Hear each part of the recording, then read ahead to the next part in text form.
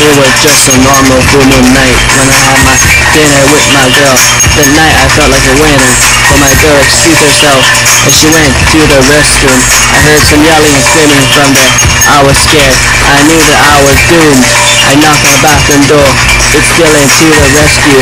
This big, hairy looking beast was breaking through the door. It looked like it was hungry. It was looking for a feast. Until I realized it was my girl as a she-wolf. Well, that just made my night. I was scared and in a fright. She was howling and growling at all of the people. They got scared and started to run.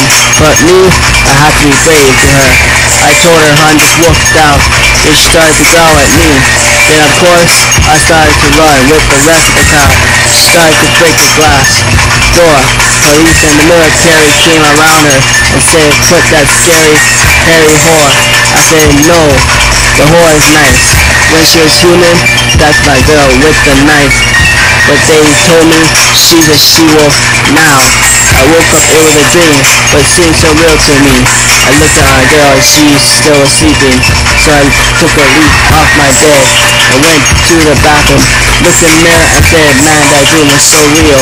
I can't deal with this she-wolf thing every night, cause it's just gonna give me a fight.